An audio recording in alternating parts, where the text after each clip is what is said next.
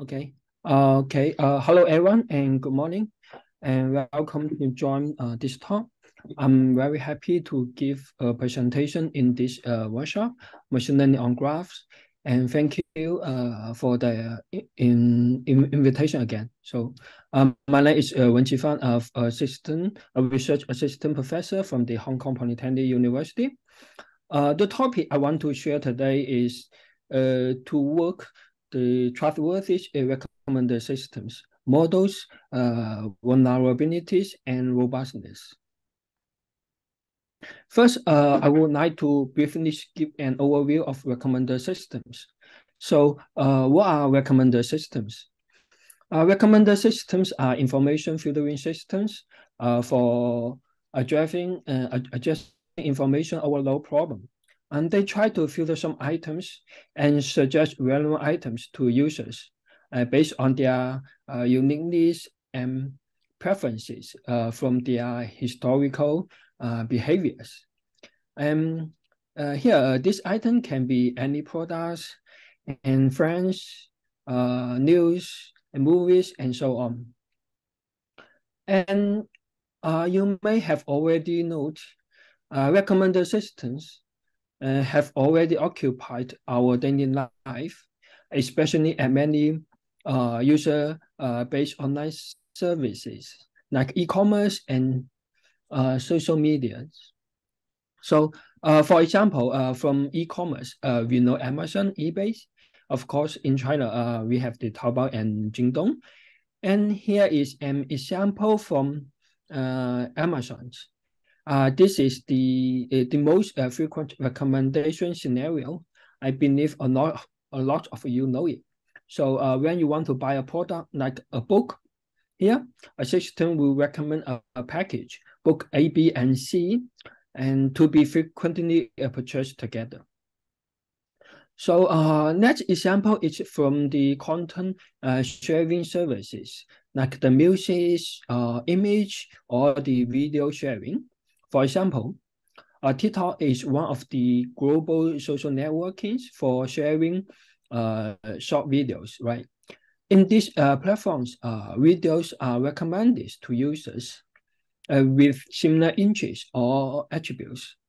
And what's more, the TikTok uh, recommendation algorithms uh, was selected as one of the top 10 uh, global uh, breakthrough uh, technologies in 2021 by MIT Technology Review. And mainly because the uh, TikTok recommendation algorithms uh, can satisfy each user's uh, specific interests.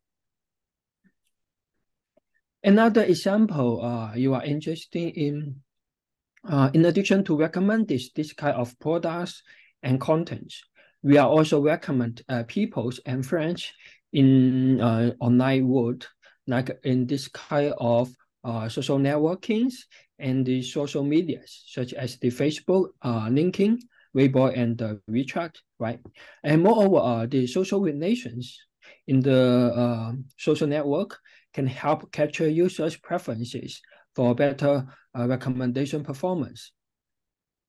Especially in app like uh, uh, WeChat, right? Uh, where we can communicate with our close friends as well as read articles. And uh, this article uh, presented in WeChat uh, might be highlighted uh, for use and due to the behaviors of uh, our uh, social neighbors. Okay, uh, after the overview of recommender systems, uh, next part I would uh, like to share some uh, representative work uh, based uh, with a specific focus on uh, graph neural networks uh, based recommendation methods. And the existing recommendation uh, methods uh, follow a general supervised learning paradigm. For example, uh, given a user item interaction and message, right, uh, we will transform each interaction into an independent data instance. Then we fit this instance into the supervised learning models to perform the predictions including the representation learning part and the interaction uh, modeling. Here, probably uh, we would like to use the deep neural networks to achieve these two steps. However, uh, such a learning paradigm uh, treats each interactions as an independent instance and ignore the implicit and explicit relationships among the instances. And we would like to call it the information isolated issue. In fact, uh, there exists uh, potential relationships among users and items. For example, uh, there are uh, behavior similarities among the users and items. So such learning paradigms uh, may overlook the relations among these instances and leading to suboptimal performance. on the other hand, the data in recommender systems can be represented as graph structure data. For example, uh, the first one is the key graph. We call it the user item graph, denoting the interaction between users and items. And the second graph uh, usually uh, exists in social networking sites. We call it the user-user social graph, uh, denoting the relationships between users. The last one is item graph, uh, denoting the substitutable and the complementary items or items uh, external uh, knowledge. Okay, uh, considering the data as graph structure data, uh, that uh, uh, can provide a great opportunity to explore and exploit the relations among users and items. Uh, then the question is coming, uh, how to model such graph structure data uh, while still achieving a promising performance for recommender systems. One of the potential solutions is to take advantage of the power of recent graph neural network techniques to model such kind of uh, graph structure data. Uh, so, uh, and the graph uh, neural network techniques and have achieved great promising performance in learning uh, meaningful uh, node representations. So, and the main idea behind it is to iteratively aggregate the feature information from the local neighborhoods by using the neural networks. And at the same time, uh, the node information can be propagated through the graph after the feature transformation and the aggregations. So uh, given this uh, advantage, the graph neural networks uh, provide great opportunities to advance our recommendation uh, systems. Uh, here, I would like to uh, use uh, social recommendations as example uh, to briefly uh, introduce how GNN, model uh, based recommendation model work. The motivation behind social recommendation is that users can acquire and disseminate information through their social relations, like the classmates and friends and so on. In detail, uh, friends on social networks can exhibit uh, similar attributes and behaviors. One is our peer influence, that uh, individual can influence uh, our friends uh, to transfer uh, our friends' uh, characteristics and behaviors uh, to be similar. The other is a homomorphism, right, in which uh, people with similar uh, characteristics or behaviors are likely uh, to exhibit the social ties. And data in uh, in social recommender systems can represent it as a graph data with the user item graph and the social graph. Here, the user can bridge these uh, two graphs. So uh, we need to uh, use uh, both graph for enhancing the user and item representation learning. Then uh, I will going to introduce graph, uh, GraphRec model, which was proposed in W 2019. And this work is one of the most representative GNN-based uh, recommendation methods. Basically, uh, this model consists of three components, the user modeling, item modeling, and the weighting predictions. In and user modeling uh, used to uh, use two different uh, aggregations to process uh, these two different graphs. One is item aggregation. Uh, it used to uh, understand users from the interactions with different items in the user item graph. And the other aggregation in is the social aggregation. For learning relationships uh, between users in the social uh, graph, uh, this can help us understand users from the social aspect. And the item modeling is used to learn uh, the representations about items. The next part is to do the uh, predictions. And let's move on. Have a let's look, uh, take a look at this demonstration about the social aggregation. And we first use the item aggregation to learn the item space uh, user latent factors in the user item graph. Uh, after that, uh, the social aggregation is proposed to learn the social space uh, user latent factors from this uh, social graph. And in addition to model uh, modeling uh, user item interaction and uh, user social relations, uh, item item uh, relationships such as the substitutable and uh, complementary relationships are also very important in recommendations. For example, on some e-commerce sites like Amazon and Taobao, they allow users to navigate between products through the link such as a user who reach uh, product A also reach product B, and a user who uh, bought product A uh, also uh, bought product B. And at the same time, in many cases, the customers can generate a positive uh, utility if they uh, consume together, such as the iPhone and AirPod, and connecting the Apple's AirPod and the iPhones can deliver the positive uh, values to end users. So we stand, we extend our GraphRec model by further considering these uh, substitutable and complementary items to enhance uh, items representation learning in social recommendations. And we construct an item uh, graph and use another GNN aggregator to enhance the items representations. Uh, so uh, I just introduced advanced uh, GNN-based recommendation techniques. So next part, I will introduce the vulnerabilities of recommender systems. At first, uh, we may uh, note that the deep neural networks are highly vulnerable to adversarial attack. Here we have a picture of Panda as which can be uh, correctly uh, classified as pandas by the deep learning network. however, if we add some small adversarial perturbations, SRAMs, to these pictures, although to our human, this is still a panda, but the neural network uh, is fluid and classify it as a, an uh, gibbons with high uh, uh, confidence. Uh, similarly, uh, despite the great development of the recommendation models, adversarial attack can also happen in most existing recommender systems.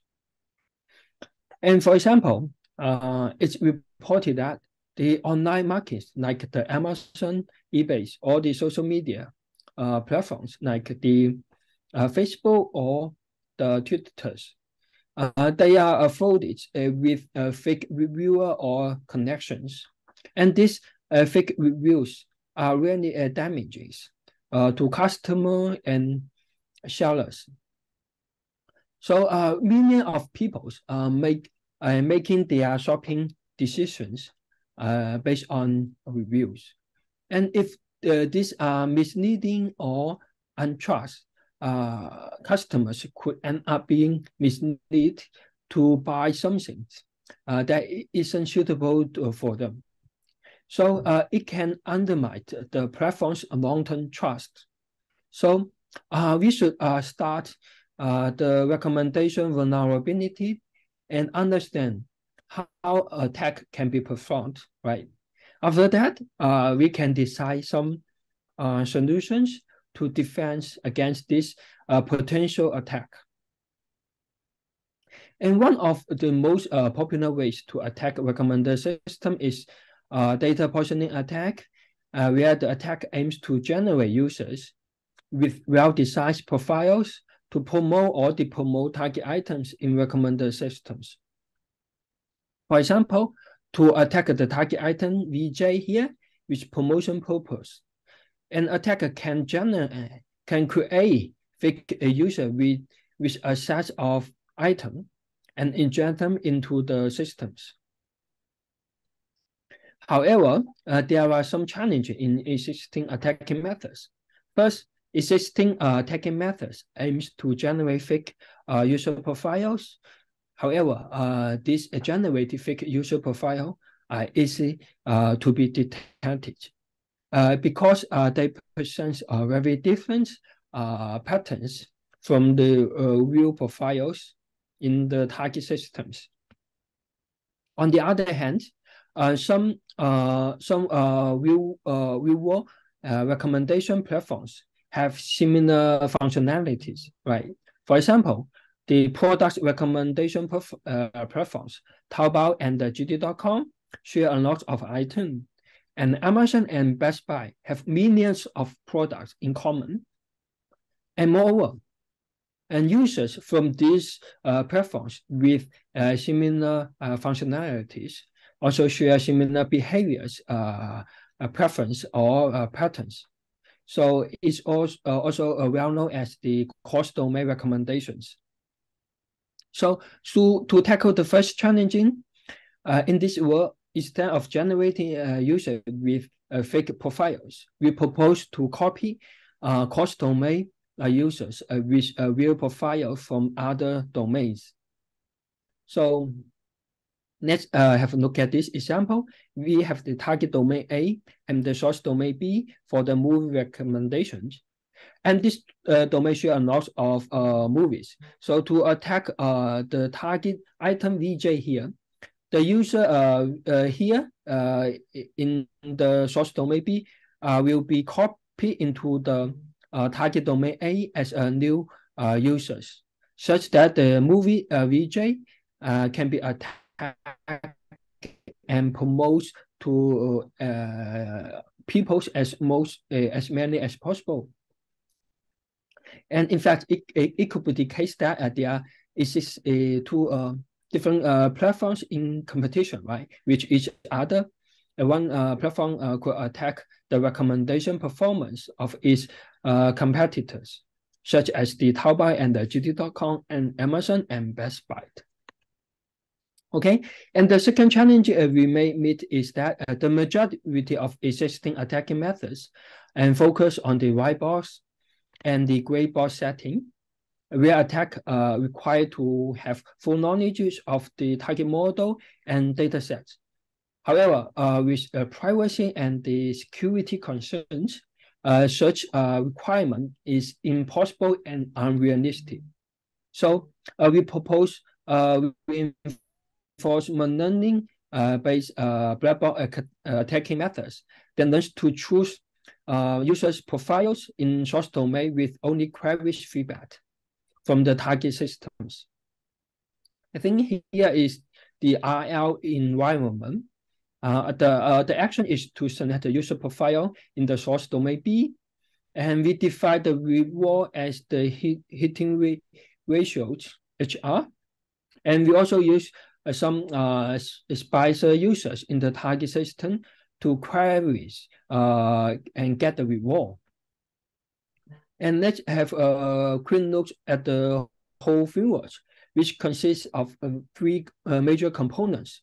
The user more, uh, profile selection and the user profile crafting and the injection attack and queries.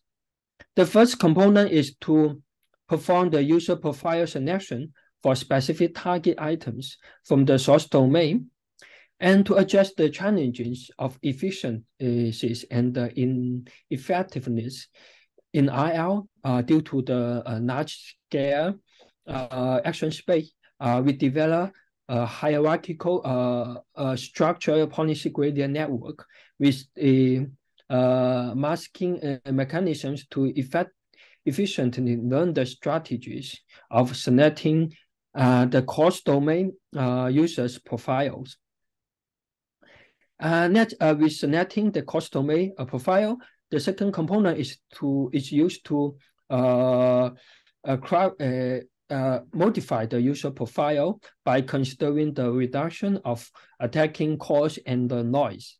The first component is the injection attack and the query. So in the first component, uh, we construct a hierarchical clustering tree over the cross domain user profile, where each uh, leaf node is represented as a user profile, and each non-leaf node is a policy gradient network. So selecting a user profile here uh, is uh, in this uh, hierarchical clustering tree is to seek a path from the uh, rules to a certain leaf of the tree. And moreover, uh, we to further reduce the action span, we introduce a masking mechanism to uh, locate info informatic cross domain user profile here, we mask the cross domain user profile uh, that do not include the target item.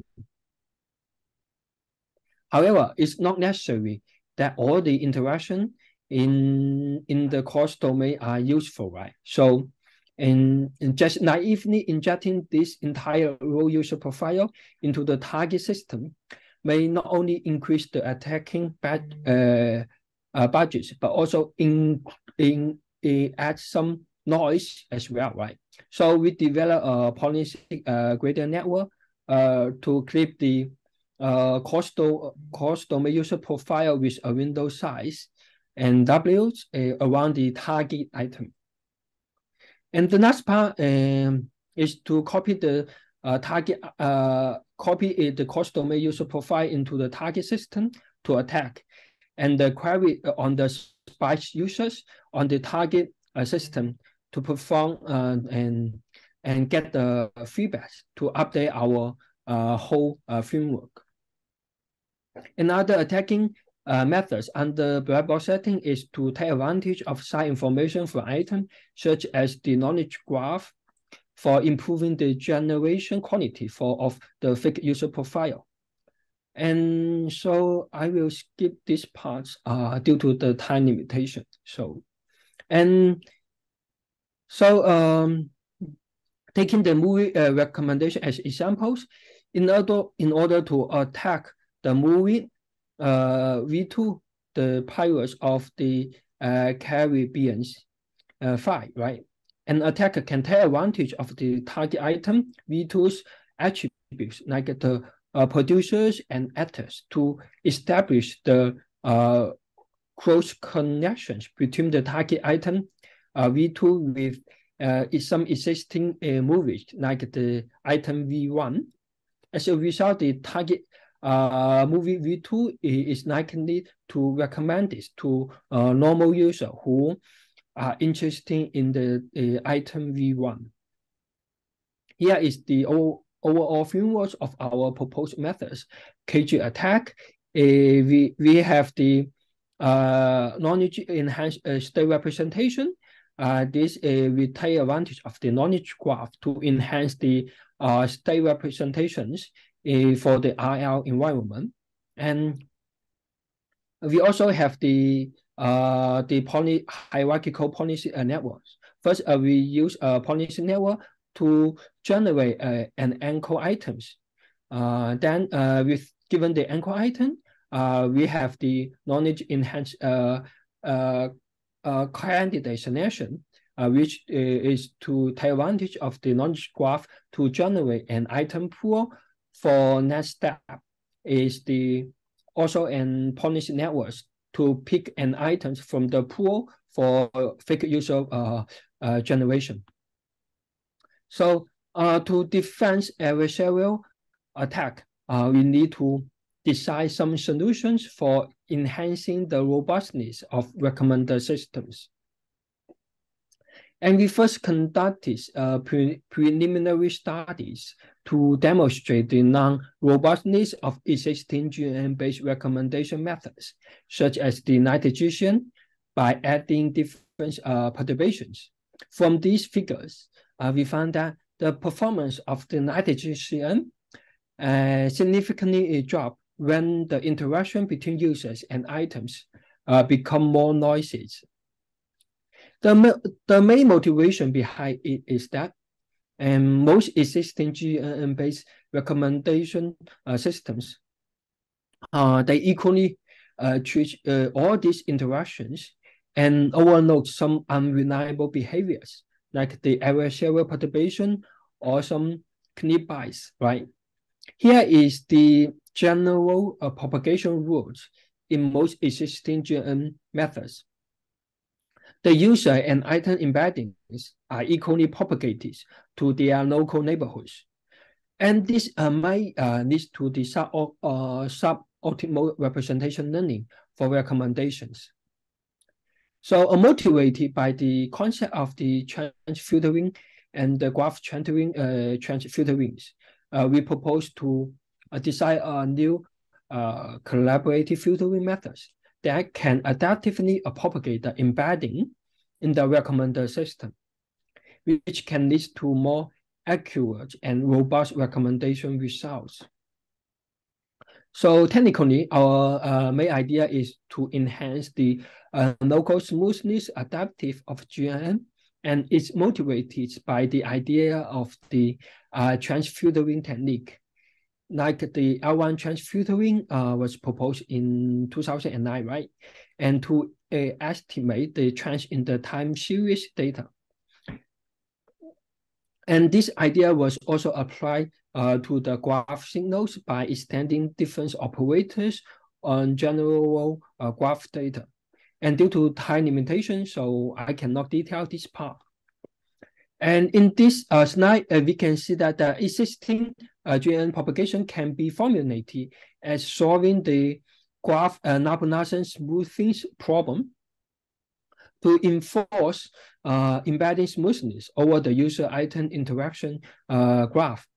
Uh, basically, uh, the embedding propagations enforce the user embedding, the EI, and the item embedding EJ to be close if there exists interactions uh, between them.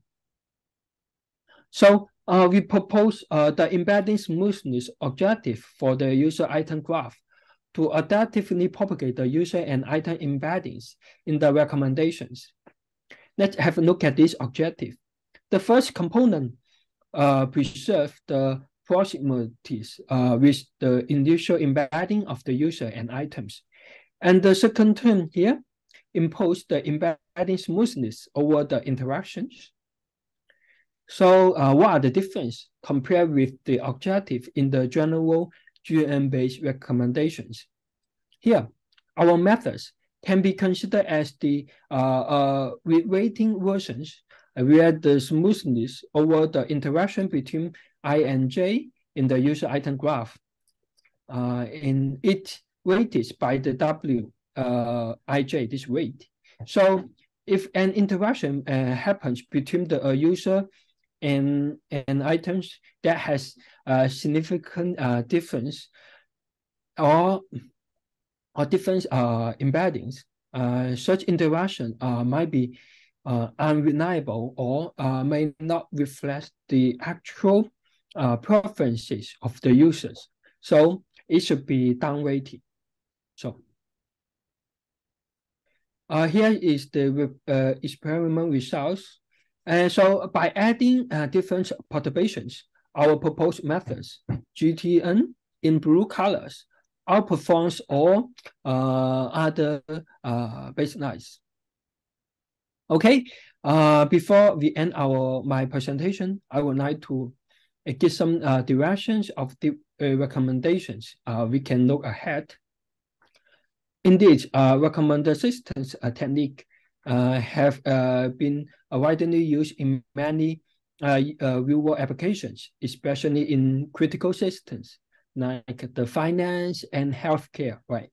However, along with their rapid and impressive development, and recommender systems have all, all, all, already explored their uh, untrustworthy sites. So how to build a trustworthy recommender systems has become an important topic in both academia and industry. There are many dimensions uh, to achieve uh, trustworthy recommender systems. Here, I just introduce uh, six of the most important aspects. They are safety and robustness, and non-discrimination and fairness, uh, explainability, privacy, and environmental well-being, and the accountability and auditability. In this talk, uh, we just uh, introduced the uh, safety and robustness uh, dimensions. Uh, what's more, uh, an ideal uh, trustworthy uh, recommender systems should satisfy these uh, six uh, dimensions at the same time. In uh, re, uh, reality, and these uh, six dimensions actually are not independent of uh, one another. So uh, the satisfaction of one dimension can promote or violate uh, the pursuit of another dimension. So uh, it's uh, also important to consider their interactions among these uh, different dimensions. So um, for more uh, information about these uh, trustworthy recommender systems, you, can refer to our recent survey paper, uh, comprehensive surveys on trustworthy recommender systems, and our incoming tutorial in at uh, W 2023. Okay, uh, here are some paper I share today. Okay, um, uh, that's all of my presentation. And thank you for your listening. Uh, thank you.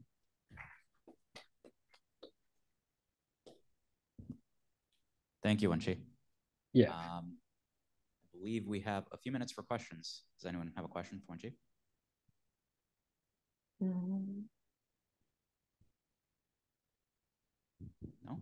If not, I have um, I have a I have a question for you. Uh, so I guess uh, you know the the first work you presented, the the GraphRec work. Um, I'm kind of curious, uh, you know, the the model that you shared with the you know the different types of aggregations on the user uh, the user user graph and the user item graph, in addition to like modeling the item space separately. Uh, do you feel there's kind of uh, actual you know gains, significant gains from the model complexity in these social recommendation problems, where um, you know it, the the architectures we have to design for these problems are, are fairly complicated? You know, they require yes. multiple types of aggregations and multiple types of heads. Um, so I'm kind of curious, like if you have any uh, anecdotal uh, studies on on the uh, kind of ablation of um, you know not including some of those aggregation types. Um, so thanks. Yes. Okay. Thank you for these uh, uh questions. Actually, uh, uh, at the begin at the very beginning, uh, we uh, do this work. Uh, we do not consider about these uh these uh, model complexities in this this model uh, have some issues, we probably can consider to, I mean, to um, propose or develop another night GNN-based uh, social recommendation, especially in like the LightGCN or other uh, uh, other methods. Probably we can consider the, I mean, uh, to remove some uh, some feature transformation and some uh, aggregations, uh, this kind or this kind of methods. I think uh, in recent uh, GN uh, um, technique, we found that uh, some uh, probably we can remove the feature transformation or the uh, activation functions. The performance can be uh, can it can improve, right? So I think uh, this also is uh, very important. Uh, I mean, uh, uh, direction uh, we can work on, especially in the industry. Okay, thank you. Got it. Thanks, Wenqi. Yeah, thank you. Uh, any more questions? Yeah, Mert. Uh, so thank you so much for your talk. Uh, so my question is about, so this content creators, so for example, in TikTok, there are content creators and uh, this, these recommendation system can be biased towards some content creators that uh, you can they can be recommended more to users. So what do you think about this bias towards uh, different individuals in these recommender systems, especially in in in in the, in in in this industry? Uh, pardon, uh, uh, please. Yes. So what my question was, uh, in academia, most likely we are thinking that each user is actually the same. So based on their attributes, we can recommend like and differently, like based on the user and the item relationship, right? But in industry, for business models, you can bias towards some content creators because maybe company agree with the, these content creators. So you will recommend more these content creators. Like, uh, for example, Spotify can agree with one uh, musicians, then the, the recommendations based on the musicians will be more frequent to the users. So it's kind of a bias in the recommender systems. It's like a, you are um, actually changing your recommender systems in terms of bias towards some uh, user. What do you think about this kind of uh, bias? Like, is it fair or uh, like? Okay, I, I got it. So, okay, thank you for for your question. Yes, I think uh that uh, definitely this is uh I think it's still uh the challenging pro uh the challenge in industries because uh we need to balance the uh I think uh, I think some performance and uh, users, uh, I think the diversity, right? Uh, probably we, we, we need to have the balance. Uh, whether if if we uh, aim to, I mean, aggressively, I mean, improve the performance, definitely, uh, user maybe they uh they uh, they will, I mean, uh they have they they will feel boring in in the same uh, uh for for in this in these platforms. So then they need to explore and explore more different things in the in, in the system. I think uh, that is I think uh, the our, our research domain uh, have uh, realized this issue and also propose some methods to address it, especially some uh, debiasing methods. Yes, thank you.